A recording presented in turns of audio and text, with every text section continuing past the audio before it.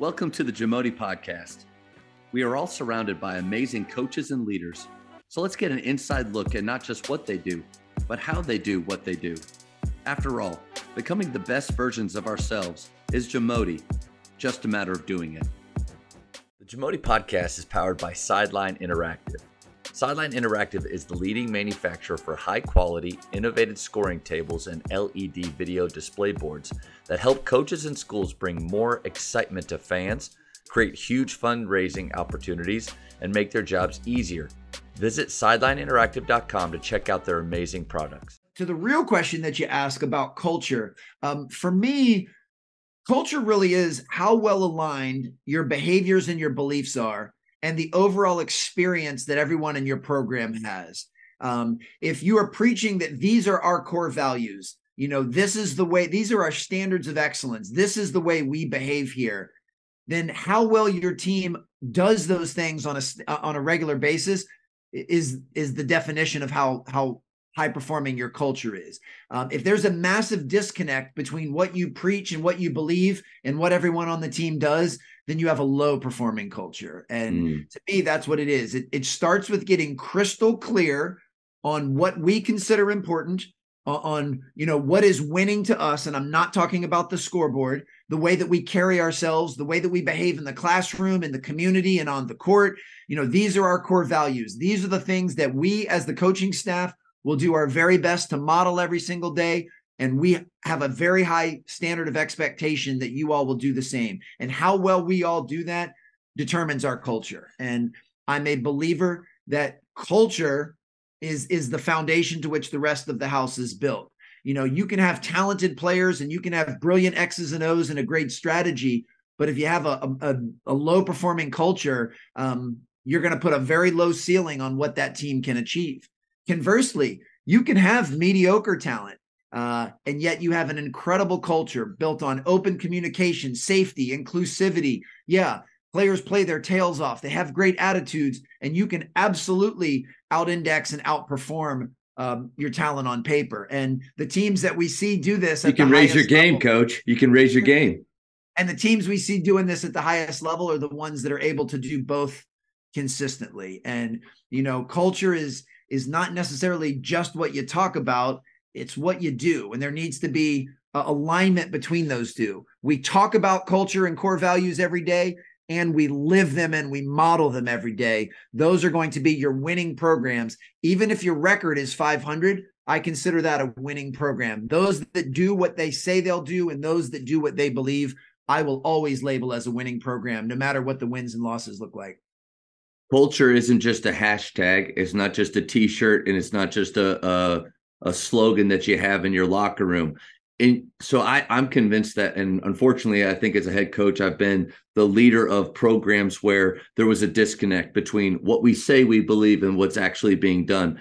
In the businesses that you go speak to, how often do you get the feeling of this? They say that they believe in this, but man, just from either what I see or the time that I get to spend with them, there there is a disconnect.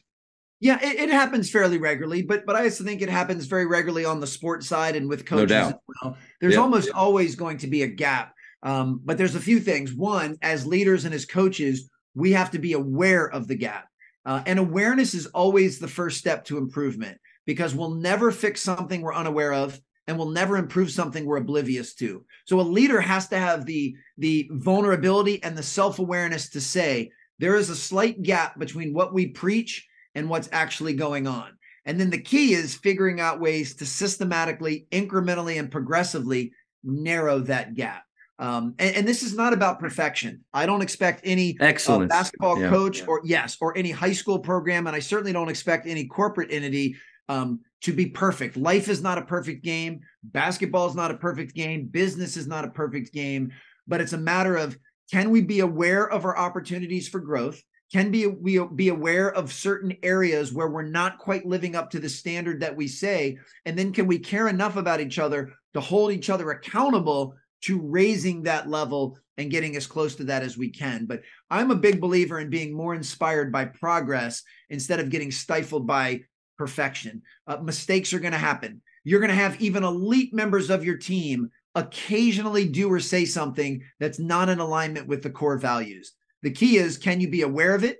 Can you care enough about them to hold them accountable? Can you make them aware of it? And can you see improvement moving forward? And that's why I especially think at the high school level, um, when kids make mistakes, which will be all of the time, uh, and they're going to make some boneheaded decisions on and off the court, are we using that as an opportunity for growth and an opportunity to teach a lesson instead of just kind of you know casting them away? A, a, a, player takes three bad shots and you just bench them for the rest of the game. Yeah. Well that might not be the way to actually teach them you know? Are they even aware that that's not a good shot?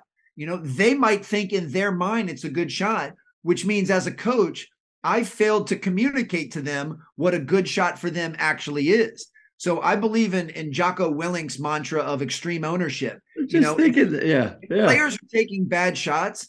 That's usually more a reflection of the coach than it is yeah. of the players. And yep. you have to ask yourself, how have I been complicit as a coach in allowing my players to take these bad shots? And what's a way that I can help them understand what a better shot would be? Coach, I, so a question I think I need a little bit of help with is so awareness, you're right. Uh, TJ Rosene said that self-awareness is a superpower. And and so I mean 10 years at Faith and doing my very very best to be intentional with like zooming out in those moments and not be and and and recognizing teachable moments, taking them, uh, setting a culture, but trying to live it as well. So many times, I think we we we learned that maybe there's a disconnect in our culture when something negative happens and that's good. Like obviously don't don't be blind to uh, you know a disconnect or, or um, an issue that comes up in your program but i guess maybe the, the idea is there is no perfect like your point i gotta maybe give myself a pass. There's no perfect culture there's no perfect environment. We're all human beings that are flawed and things are going to come up but how, how do you how do you see maybe a disconnect in your culture and your program, maybe with parents, maybe with players, and, and try to fix that problem before before the issue hits. Like I don't know, I, I I had some things happen this season that coached full transparency. I just didn't see it coming. Like I thought we were, I thought we were all moving along and and not like head in the sand kind of thinking. And but then, man, uh, something happened that oh, we're we're not on the same page how do you how do you be so self-aware that you can see some of the things happen be- or coming before they happen so basically we're all looking at the same thing but we're looking at it from a variety of different perspectives and one way that we heighten self-awareness is to try to get as many different perspectives as we can so keep in mind as a head coach of a basketball team uh, through no fault of your own you're only going to see the world through your own eyes and your own lens. Hmm. You're seeing it from the position on the org chart as the CEO or the head coach of the team. Well, you better believe that your third assistant sees the world a little differently than you do. You better believe your starting point guard sees the world differently than you do. Your 15th man sees the world differently than you do. Your athletic director, your principal, all of these people see the same thing slightly differently. And part of being aware is intentionally soliciting their perspective and their point of view um, because whatever it was that you were referencing that you said happened this past season, there's a chance somebody else in the program kind of saw that coming, hmm. but you didn't. And this doesn't mean that that that anyone was trying to hide anything from you. It's just a matter of whether we create a culture of openness where fe- people feel safe to share um, their perspective, even if it's going to go against or rub against what it is that you believe. Um, and and I think we can be very proactive in that. You know, when I was at DeMatha and I worked for Mike Jones, who's one of the best high school coaches I've ever had a chance uh, to meet, one of the best leaders I've ever met, he would do an exercise before every game that would basically be as follows. All right, we've scouted this team that we're going to play on Friday. Um, we've we've looked at their personnel, we've looked at their tendencies, we know what sets they run. We've had two really good days of practice where we're not only focusing on what we do well, but we're paying attention to the things that they may throw at us. And then the very last thing he would do was he would ask the other assistant coaches, um, I think we're in a good position to be successful tomorrow. I, I feel very confident. But let's just say I have a crystal ball and it says that we actually lose tomorrow. What is the number one reason that you think we would lose if we were to lose tomorrow? Hmm. And one of the coaches might say, you know, um, they're a little bit bigger than us and we didn't box out. We got beat on the boards. Or another one would say, you know, we we didn't effectively make the extra pass when they were trapping in their half court trapping defense. You know, they would each say something that they think could be the reason that we would lose. And then Coach Jones would say, perfect. In our last practice and shoot around, we're going to address each of those things. Because if we lose tomorrow, it is not going to be for a reason that we've already established could be a reason that we'll lose. It's going to have to be something that surprises us. So he would be very proactive in asking what could undermine our ability to win the game. And let's address those things now. So if we lose tomorrow, it's not going to be because we didn't box out and it's not going to be because we didn't make the extra pass out of a trap. It's going to be for something that we really didn't see coming. And and, there's a lot of ways that we can kind of apply that mindset yeah. to a lot of different areas of our life. No, that's a great activity and definitely one that I'm going to borrow. One coach said never to call it stealing. Yes. We're borrowing from each other, but uh, I definitely borrow that. How much? So I believe in an open door policy, especially I mean with players. But I tell my parents that too. They don't always take advantage of that, which maybe that's a self awareness thing. Like I'm saying it, but do they really believe that they can come in and be heard and that that I'll I'll I'll welcome that? That's a that's a something to think about. But is there is there too much? Is there too much access? Too much, uh, you know, openness? I don't know. I, think that's up for each coach to, yeah. to it. But keep in mind too, we hear this all the time, and, and I've I've said this to folks in the business world.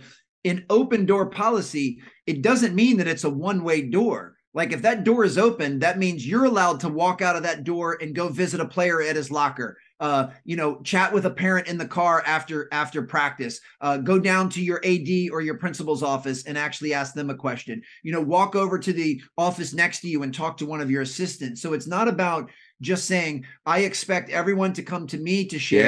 Yeah, yeah. Sometimes we have to be more proactive in going and reaching out to them and just saying, Hey, I've got this on my mind. I know we're preparing for this game on Friday, you know, talking to one of your assistants. W- what is it that you see? Or I noticed that we're having a little issue with with Jimmy. You know, he seems to have kind of a, a bad attitude and he's been in a little funk. I can't quite figure out what's going on in his head. Is there anything that you know? Or who on the team has the best relationship with Jimmy? Maybe we can talk to that player instead. Um, so, yeah, I think as coaches, I love an open door policy, but just remember that it is a two way door, and we have to be just as proactive in reaching out to others as we would expect them to be of us. Thank you for checking out today's episode. Please take a moment to subscribe to this podcast, share it with your fellow coaches, and find us on social media for what's coming up next on the Jamodi podcast. It's just a matter of doing it.